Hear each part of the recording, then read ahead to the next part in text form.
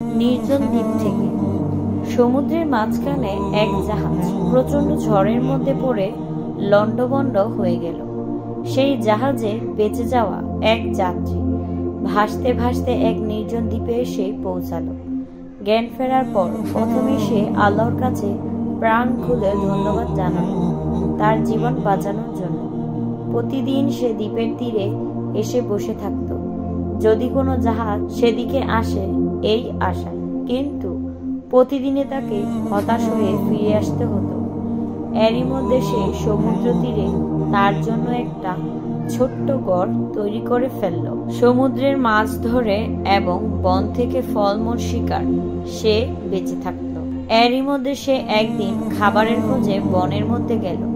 বন থেকে সে যখন ফিরে এলো, তখন দেখল যে তার রান্না করার চুলা থেকে আগুন লেগে পুরো ঘরটি ছাই হয়ে গিয়েছে এবং তার কালো ধোঁয়ায় আকাশ ভরে গিয়েছে।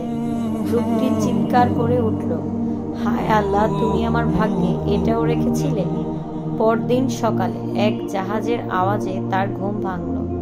জাহাজটি সেই দ্বীপের দিকে তাকে উদ্ধার করার জন্য আসছিল।